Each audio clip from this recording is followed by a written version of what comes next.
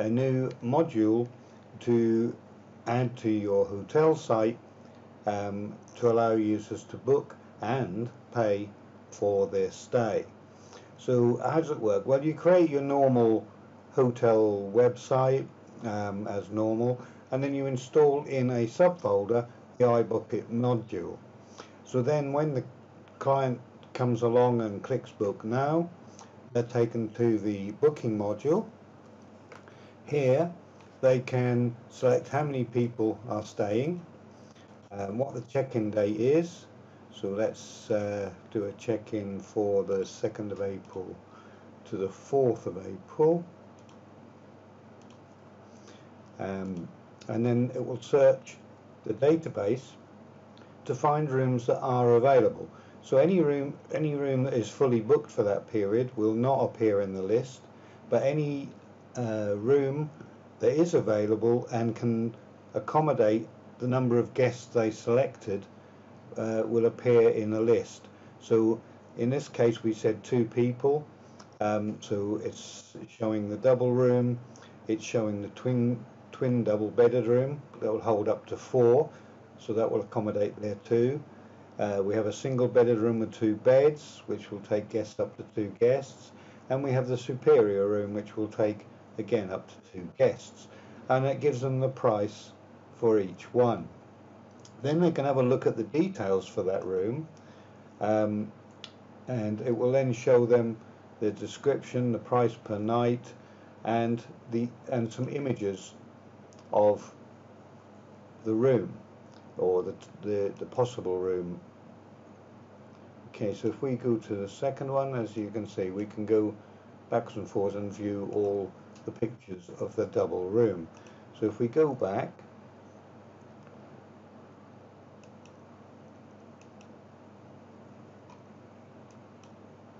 button doesn't want to go back, oh, there we go.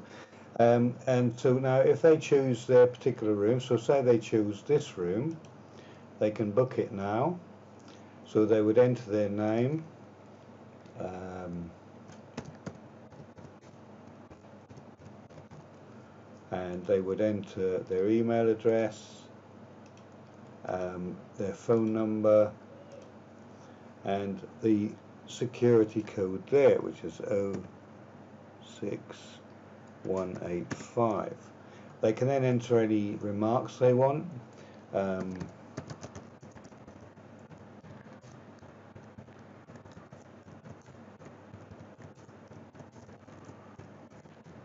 any, any remarks they want to add and then they can click book now.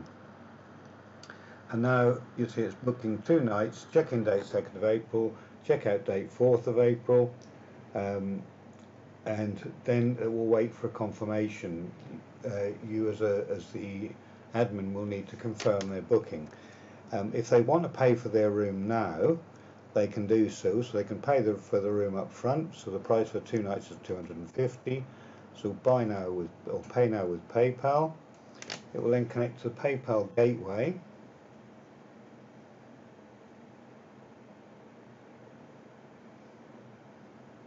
And then once it's connected, they just log in or pay by debit credit card.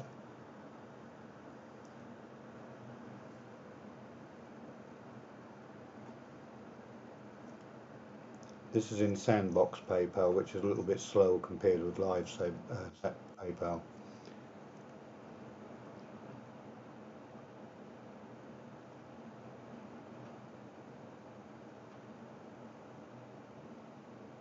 There we go, we've logged in. And we, they can view the payment there, hotel booking, order number, serial whatever, and the price um, and then if they want to pay with a PayPal balance they just click pay now PayPal is processed, they've paid the money and it will now go back to the website and they will get a thank you page which says your payment has been processed in PayPal and you'll get a confirmation from PayPal. Booking number is that, amount is that, uh, PayPal transaction number is that, and we look forward to welcome you. Now in the meantime they will have received an email.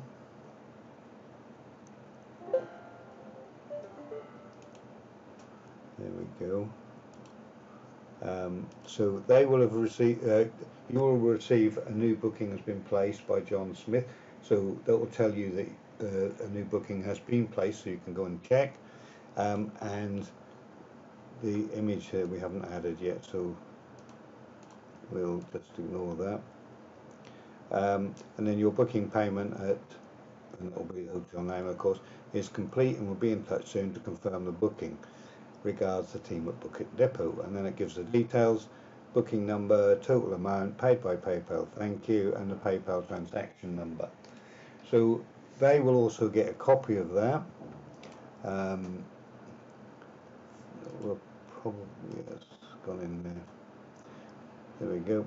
Your uh, your booking payment at booking demo is complete. We'll be in touch soon to confirm the booking and again the booking number and reference. So they've got their emails they've got their booking done. So now we as admin would go in and we will look at the new bookings. So we'll just log in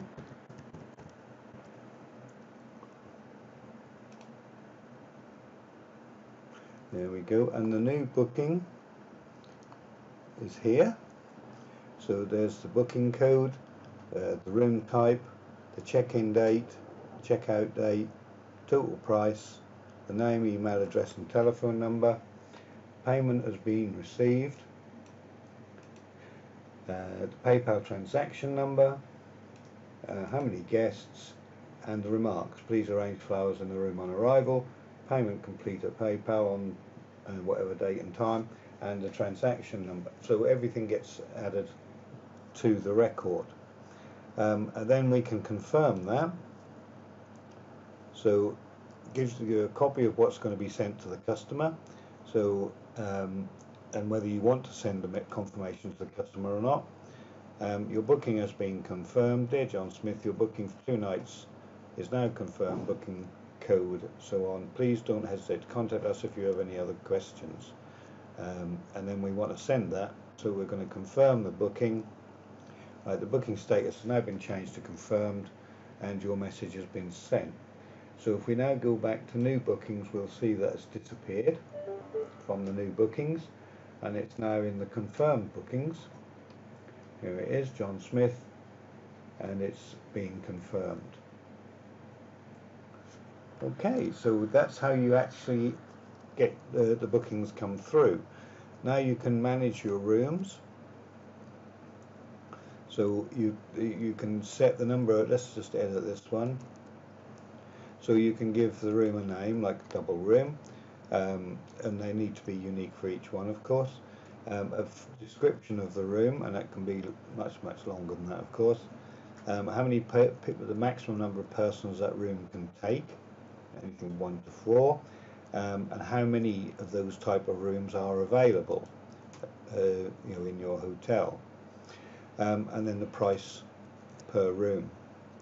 And then you can set add more images if you wish um, so by clicking modify on the images you can upload more images for that room type.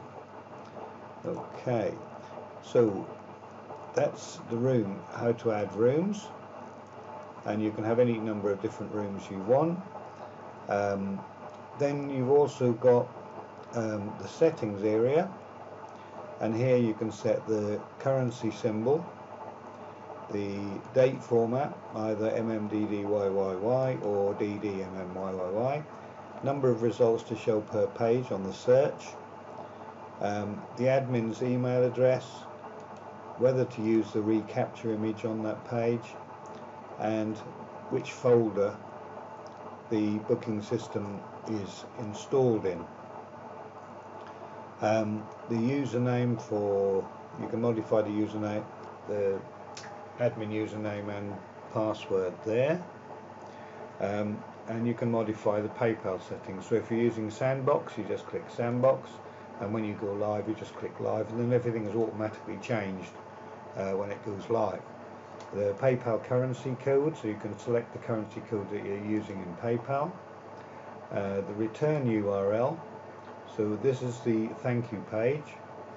um, the cancel URL, which is the sorry page, the live IPN location. You shouldn't.